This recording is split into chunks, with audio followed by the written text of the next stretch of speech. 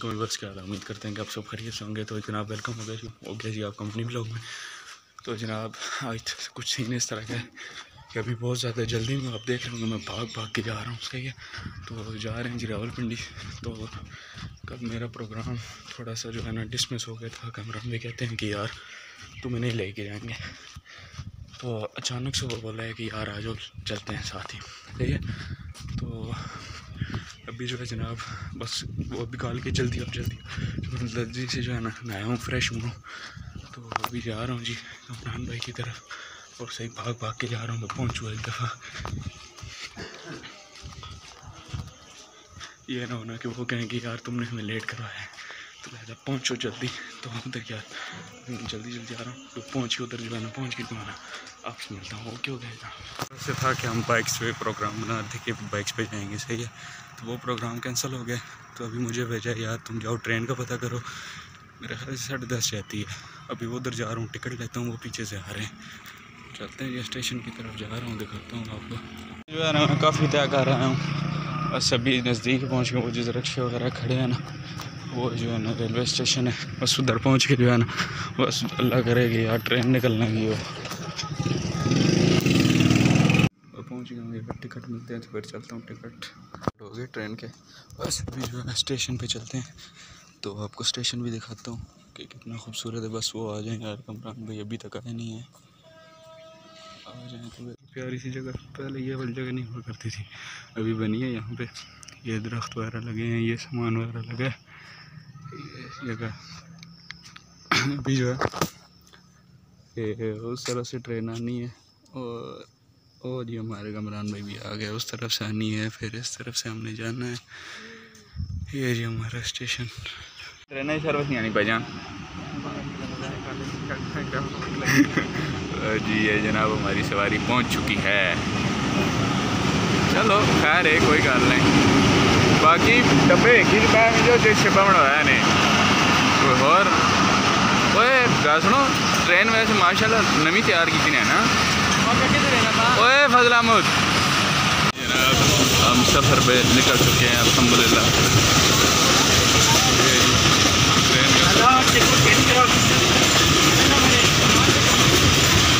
निकल चुके हैं और आवाम आप देख सकते हैं फुल भरी हुई है इस वक्त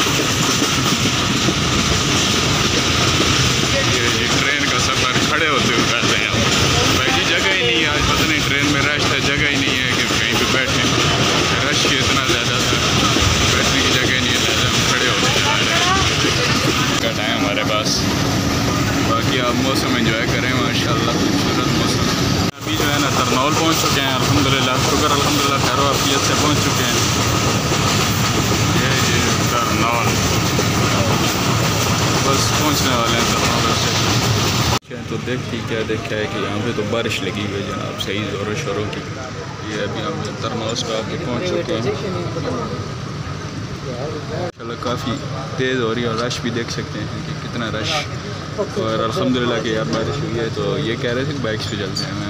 यार, उस पर जाओ मोटरसाइकिल पे, ट्रेन पे। तो शुक्र है कि नहीं आया बारिश। आज की बारिश हो रही है, माशाल्लाह, बहुत ही उमदा। और जैसे जैसे हम आगे जा रहे हैं और बारिश भी तेज़ हो रही है ये भाईजान जो है ना इन्जॉय कर रहे हैं, माशाल्लाह बारिश तो सही।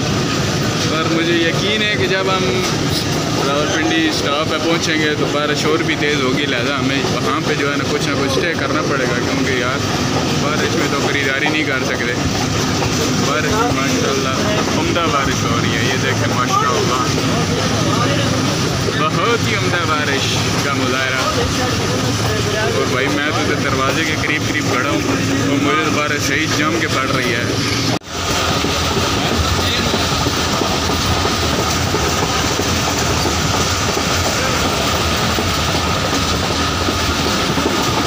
अलहमदिल्ला हम उतर चुके हैं और इधर उतरती क्या देखा है कि बारिश? और बारिश के मंज़र और ये जनाब, आप देख सकते हैं कि ऊपर बादल भी काफ़ी जो है ना, मज़ेदार बने हुए हैं। अलहमदिल्ला शुक्र है कि बाल वगैरह नहीं ख़राब हुए या और कुछ सिस्टम ख़राब नहीं हुआ। बाकी हम तीनों अफराज जो है ना पहुँच चुके हैं। अभी इधर करेंगे स्टे थोड़ा सा ताकि यार बारिश थोड़ी सी रुक जाए तो फिर आगे चलेंगे इन रावलपिंडी स्टेशन। वापसी भी हम इन कोशिश करेंगे, ट्रेन से जाएँ। कि जाती तो वो साढ़े पाँच बजे उम्मीद करते हैं कि हमारा जो काम है, साढ़े पाँच तक ख़त्म हो जाए। ये रावलपिंडी स्टेशन। ओहो, मिनी बाज़ार बना हुआ है जनाब यहाँ पे तो। ये जी रावलपिंडी का स्टेशन, बेहतरीन स्टेशन। भाई हमारा। और ये जी, यहाँ पे थोड़ा सा रुक जाते हैं क्योंकि जो है ना, बारिश वगैरह हो रही है। यहाँ पे काफ़ी उमदा तेज़ ये जी अंदर का माहौल है। ये जी रावलपिंडी का स्टेशन, ये अंदरूना माहौल। ये एक होटल बना हुआ है रिफ़्रेशमेंट के लिए। और यहाँ पे जो है, हम रिफ़्रेशमेंट करेंगे नहीं। इतों एयरपोर्ट तो मागी छियाँ दे रहे हैं इतने ना कर रहे हैं। वैसे हम किसी ढाबे पे बैठ के सुकून से चाय नाश्ता करेंगे। भाई, इतनी ये मेरे दो जवानों का जो है ना, दिल तो बड़ा मज़बूत था, लेकिन बारिश देखती जो है ना इनका दिल परेशान हो गया कि इस बारिश में हम नहीं जाएँगे। ये बारिश है जनाब, बारिश का मंज़र। और बहुत ही उमदा बारिश हो रही है। ये भाई, आगे बारिश रुके तो जाएँ। हुआ ये देख सकते हैं कि कितना सैलाब। और बारिश थोड़ी सी ऐसी हुई है तो हम निकले हैं जनाब। तो हम भागते भागते जा रहे हैं जनाब, कि जो है ना कि ये ना और रास्ते में जो है ना फिर बारिश शुरू हो जाए।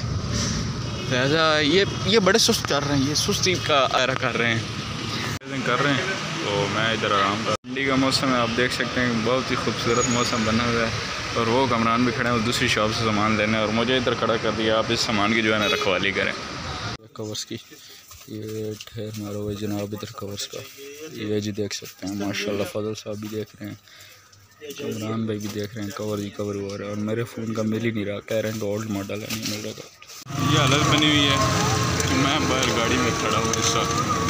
गाड़ी में जगह ही नहीं है। ये हालत है इस वक्त जो है ना, मेरी बनी हुई है।